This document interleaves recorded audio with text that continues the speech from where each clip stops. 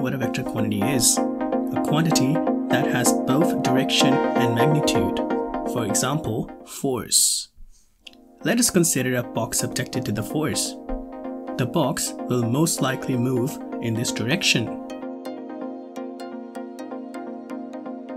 The distance the box will cover will depend on the amount of force applied. Now, if I apply force in the other direction of the box, box will move in the opposite direction and again the distance it will cover will also depend on the magnitude of the force. For this example, we will assume that we are working on a 2D plane and here are the axes. Force, being a vector, is acting on this box in this direction. This vector doesn't lie on either of the axes, it is rather somewhere in the middle.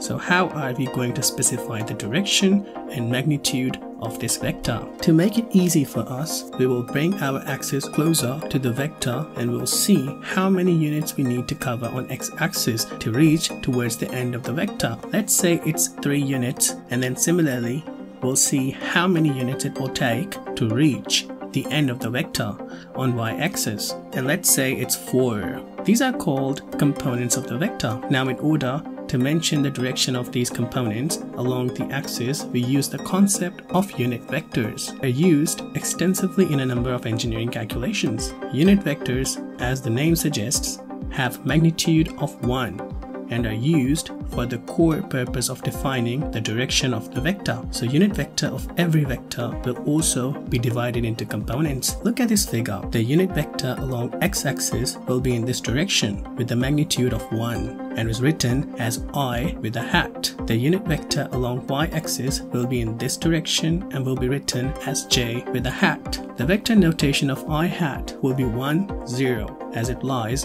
on x-axis. The vector notation of j hat will be 0, 1 as it lies on y-axis.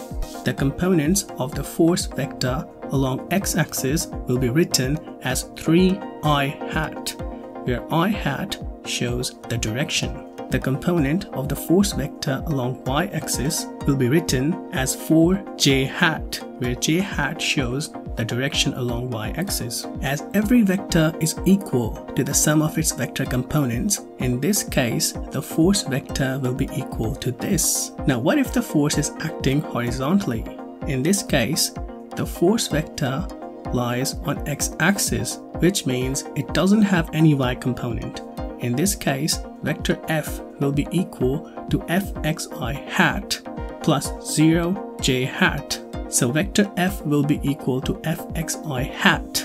Similarly, if force is acting vertically along the y-axis, then there will be no x components at all. In these cases, the calculations become fairly simple and straightforward. What if there are two forces acting on this box? And if I were to calculate sum of these forces to determine the result of these forces to depict what will happen to the box at the end, I will have to add these vectors in a fairly simple way by adding corresponding components.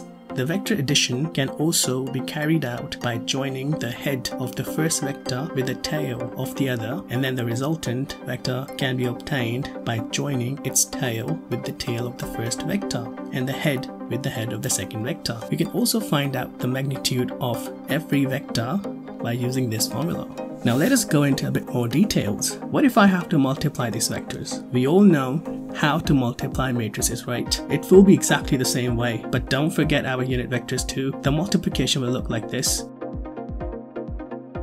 Note that the k hat represents z-axis and in this case we are considering it to be non-existent.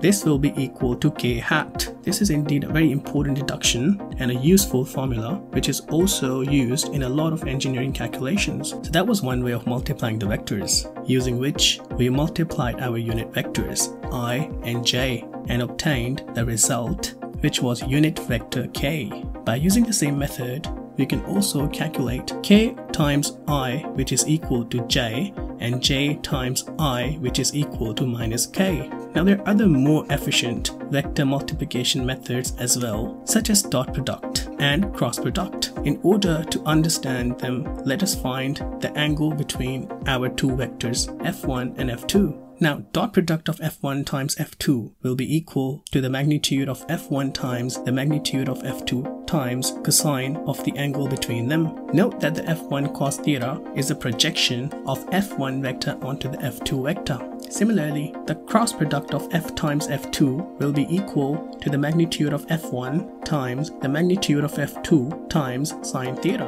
One major difference between these two methods is that the dot product is basically a multiplication between two vector quantities but the result is a scalar quantity, while cross product is the multiplication of two vector quantities where the result is also a vector quantity. One example of dot product is work. Example of cross product is moment. Now let us see where, how, and why do we need to resolve a vector into its components, as we know that the applied force made the box move from point A to point B, which is basically work done. Work is basically the product of displacement and force, which is in the direction of displacement. Note that here the force has two components and we're interested in the component which is in the direction of the displacement. As the box is moving along x-axis, we are interested in the component of force along the x-axis only. And this is how we do it. The magnitude of x and y components vector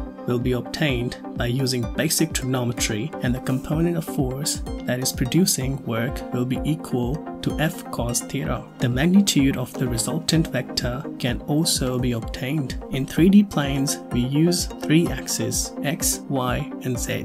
The vector in 3D plane will have three unit vectors as well, which will be i hat, j hat, and k hat respectively, and their calculations will look like this. Well, that's the topic for another day.